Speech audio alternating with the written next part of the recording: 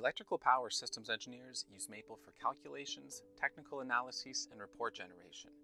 They work at utility companies, wind turbine manufacturers, as well as aerospace and defense companies.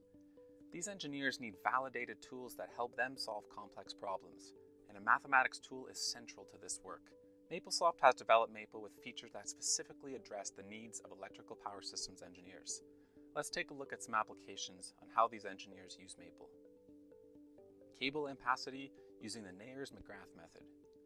Heat is generated when current flows through a cable. The ampacity of a cable is the amount of current a cable can carry without exceeding its temperature rating.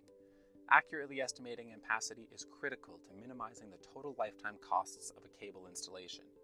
This application implements the Neher-McGrath equations and cross-checks the results against those tabulated in the National Electrical Code. Good agreement means that this worksheet can be the basis of more complex cable ampacity calculations. Using numeric and symbolic techniques, this application uses Maple's built-in unit system to show standard units throughout the calculations. Load flow analysis of a 5-bus power system. This application uses Maple to analyze a 5-bus power system and calculates the voltages and powers, real and reactive, at each bus. This application demonstrates two approaches to numerically solving the load flow equations. In one approach, the symbolic real and reactive load flow equations are generated and solved with fsolve, which is a powerful numerical equation solver. This is quick to set up, but may be slower for larger systems. This approach also symbolically generates the real and reactive power flow equations. In the second approach, the system Jacobian is constructed and solved with a Newton-Raphson iteration, this method requires more initial setup, but may be faster for larger systems.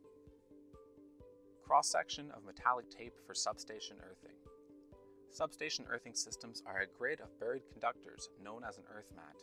The grounding of substations is very important for both personnel safety and to provide a discharge route for the overall power system. This application calculates the cross-section of metallic tape to earth a conductor for a 110 30 kilovolt substation. The Maple worksheet features natural math notation and units throughout the calculations, and can also be converted to an interactive application with buttons and sliders, and can be deployed free of charge using the Maple Player.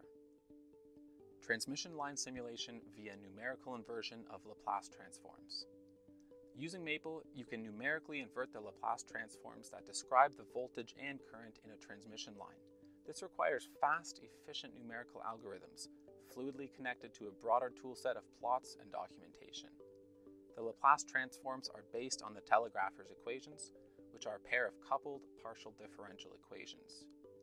The results describe the transient variation of current and voltage at any point on the transmission line.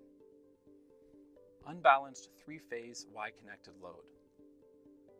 This application calculates the currents in an unbalanced three-phase Y-connected load and the total power drawn by that load. In this example, the unbalanced three-phase Y-connected load is connected to a balanced three-phase four-wire source. The load impedance and line voltages are known in this example. Per unit analysis of a three-phase power distribution system. This application analyzes the power flows in this three-phase system on a per unit basis. Power system parameters such as voltage, current, and impedance are often normalized to a base power and voltage before an analysis. This simplifies the analysis of the power flow in the system. This application also makes use of Maple's built-in unit system, where units are streamlined throughout the entire set of calculations. For more examples about how engineers use Maple in their work, see the Maple Application Center at maplesoft.com/applications.